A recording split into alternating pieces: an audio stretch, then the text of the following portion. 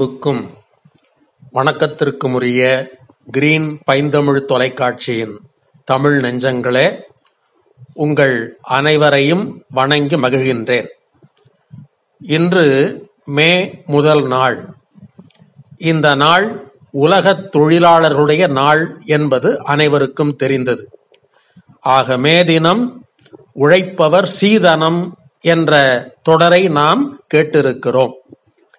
இந்த மேதினத்தினுடைய வரலாற்றை சொன்னாலே அது வலி நிறைந்த வரலாறாக இருக்கிறது. அந்த வலி நிறைந்த வரலாற்றிலும் கூட நம்முடைய தொழிலாளர்கள் இன்று அதே நிலை முற்றிலும் நீங்கிவிட்டது என்று சொல்வதற்கு இல்லை. இருந்தாலும் ஆறுதல் அடையக்கூடிய நிலையை இன்றைக்கு தொழிலாளர்கள் அடைந்திருக்கிறார்கள் என்று சொன்னால் இந்த மேதின போராட்டம்தான் என்று சொல்லி அதனுடைய வரலாற்றை சுருங்கச் சொல்லி நம்முடைய தமிழ்நாட்டிலே அந்த மே தினத்தை அதுவும் தொழிலாளர்களை கொண்டாடியவர்களுடைய நிலையையும் சில கவிதைகளை சொல்லி நிறைவு செய்யலாம் என்று கருதுகிறேன்.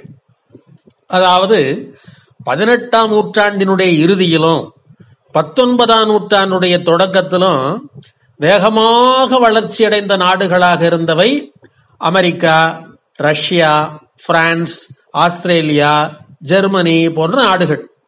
இந்த நாடுகளிலெல்லாம் இந்த தொழிலாளர்களை கடுமையாக வேலை வாங்கி இருக்கிறார்கள். எப்படி என்றால் நாள் ஒன்றுக்கு பனிரெண்டு மணி முதல் பதினெட்டு மணி நேரம் வரை கட்டாயம் வேலை செய்ய வேண்டும் என்று வாட்டி வதைத்திருக்கிறார்கள். அப்படிப்பட்ட சூழ்நிலையிலே ஆங்காங்கே தொழிலாளர்கள் வேலை நிறுத்தம் என்ற போராட்டமாக ஆங்காங்கே தொடங்கி இருக்கிறார்கள் அப்படி தொடங்கிய போதெல்லாம் அவர்கள் அடித்து நொறுக்கி உதைத்து சிறையில் அடைக்கப்பட்டு பல்வேறு இன்னல்களுக்கு ஆளாகி இருக்கிறார்கள் அப்படிப்பட்ட சூழ்நிலையிலே ஆயிரத்தி எண்ணூற்றி எண்பத்தி ஒன்பதாம் ஆண்டு ஜூலை பதினாலாம் தேதி பாரிஸ்ல சோசியலிச தொழிலாளர் சர்வதேச தொழிலாளர் பாராளுமன்றம் கூடியிருக்கிறது.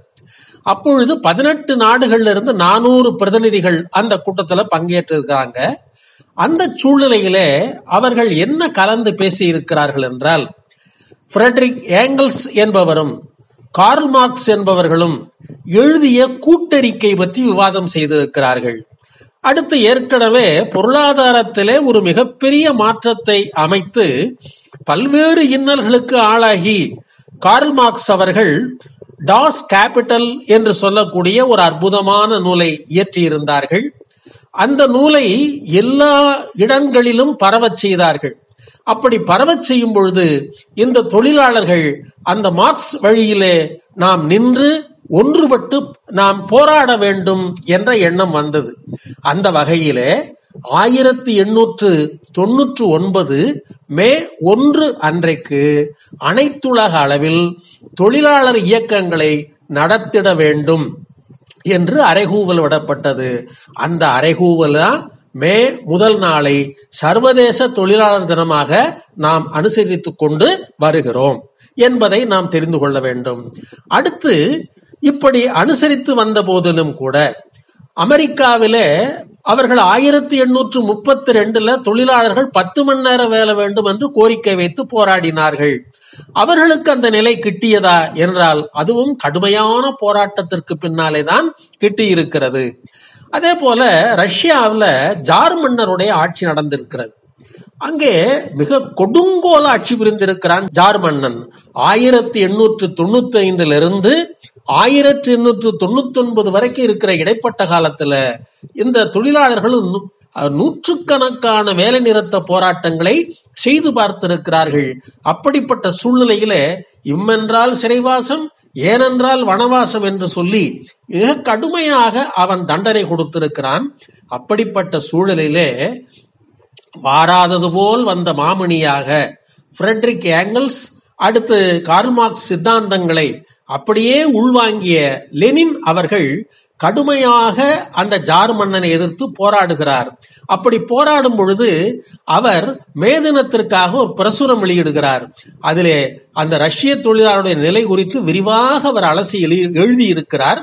அப்படிப்பட்ட அந்த போராட்டம் அரசியல் போராட்டமாக மாறி கடைசியிலே அந்த தொழிலாளர்கள் எட்டு மணி நேரம் எங்களுக்கு அந்த வேலை கொடுக்க வேண்டும் என்ற போராட்டம் தான் ஜார் மன்னனையே புரட்டி போட்டது.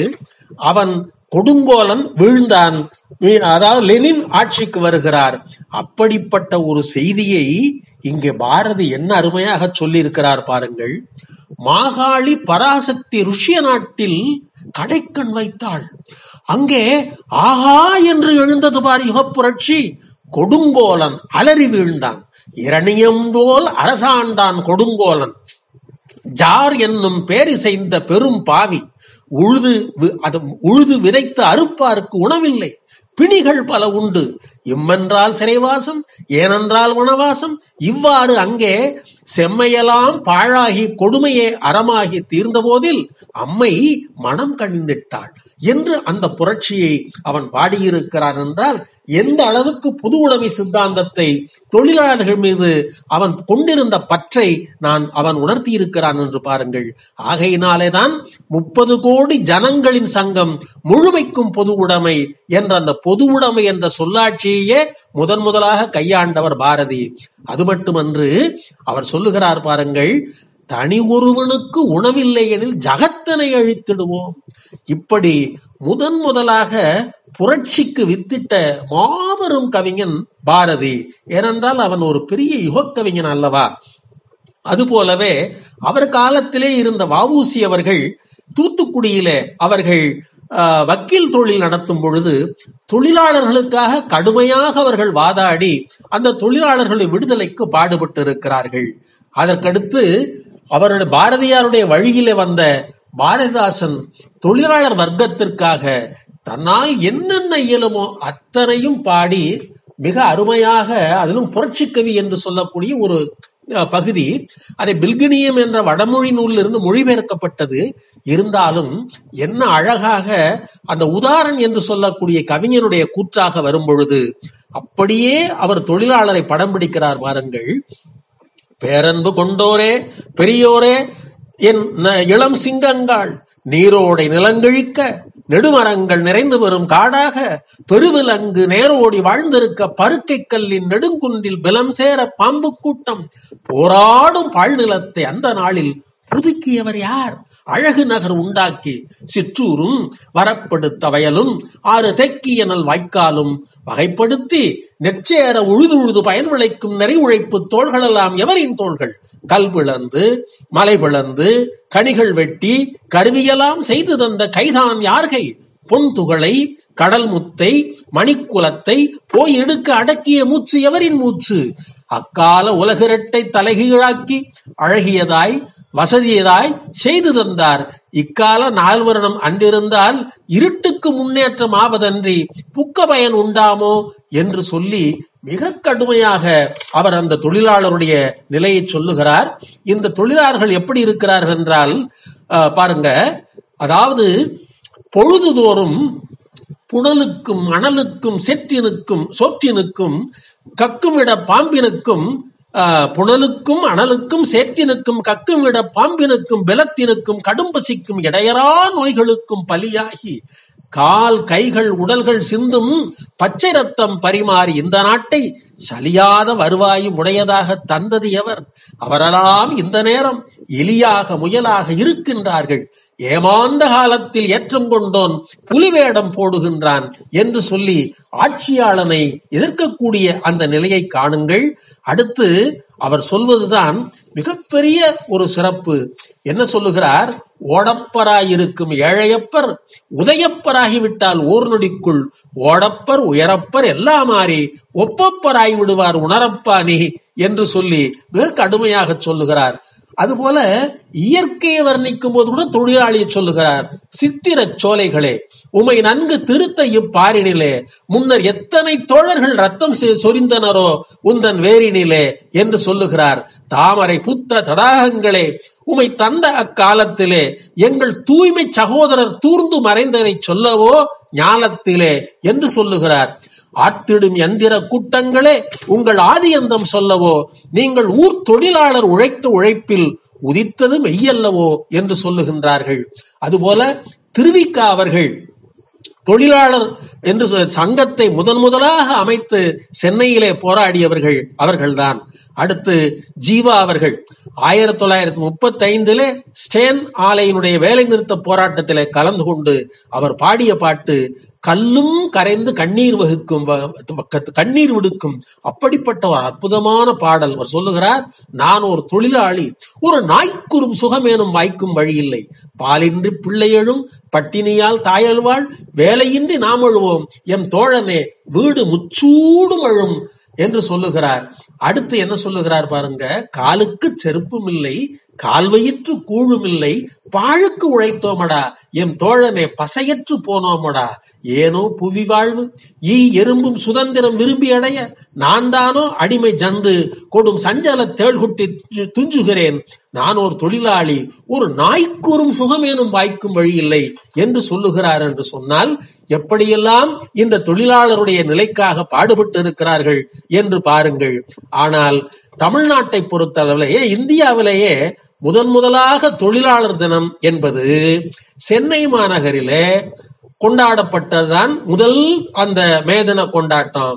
அதை நடத்தியவர் யார் என்று சொன்னால் ஆயிரத்தி தொள்ளாயிரத்தி இருபத்தி மூன்றிலே உயர்நீதிமன்றத்திற்கு அருகே உள்ள கடற்கரையிலே தலை சிறந்த சீர்திருத்தவாதியாக இருந்த சிங்காரவேலர் ஐயா அவர்கள்தான் அதை கொண்டாடி இருக்கிறார்கள் அப்படி கொண்டாடியதனுடைய நினைவாகத்தான் அங்கே உழ- உழைப்பாளர் சிலையை நீங்கள் அங்கே கடற்கரையிலே உங்களால் காண முடியும். ஆகையினாலே அன்றிலிருந்து இந்த தொழிலாளருடைய கொண்டாட்டத்தை ஒரு குறிப்பிட்ட அதுவும் குறிப்பாக பொது உடைமை கட்சியினர் மட்டுமே கொண்டாடி வந்த நிலை மாறி மாறி இன்றைக்கு அரசே அந்த விழாவை கொண்டாடுகிற நிலை வந்து இன்றைக்கு உலகம் முழுமையும் இருக்கின்ற தொழிலாளர்கள் கொண்டாடக்கூடிய ஒரே நாளாக ஒரு அற்புத நாளாக திகழ்வது இந்த தொழிலாளர் தினம்.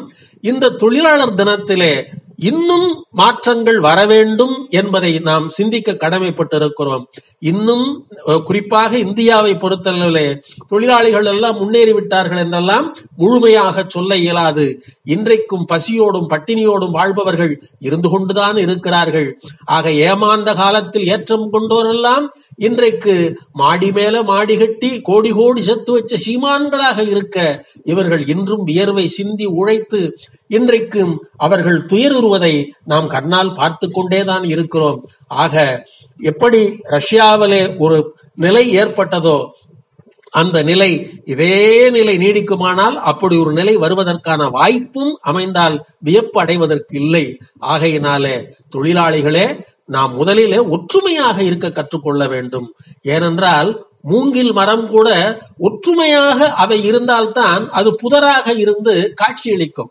ஆனால் இன்றைக்கு தனித்தனியாக பிரிந்து பிரிந்து அதாவது ஐந்து சிங்கங்கள் ஒன்றாக இருக்கும் ஐந்து மாடுகள் ஒன்றாக இருக்கும் பொழுது எப்படி ஒரு சிங்கத்தை விரட்டியதோ அதுபோல தொழிலாளர்கள் ஒன்றாக இருந்தால் நம்மால் விரட்ட முடியும். இல்லை என்றால் தனித்தனியாக ம- மேய்ந்தால் அந்த சிங்கம் அந்த மாட்டை அடித்து கொன்று விடும் என்பதை மனத்திலே வைத்துக்கொண்டு நாம் ஒன்றுபடுவோம் சிறப்படைவோம் வாழ்க்கையில் உயர்வடைவோம். இந்த மே தினத்திலே அனைத்து தொழிலாளிகளுக்கும் அனைத்து நண்பர்களுக்கும் வாழ்த்தை சொல்லி விடைபெறுகிறேன். நன்றி வணக்கம்.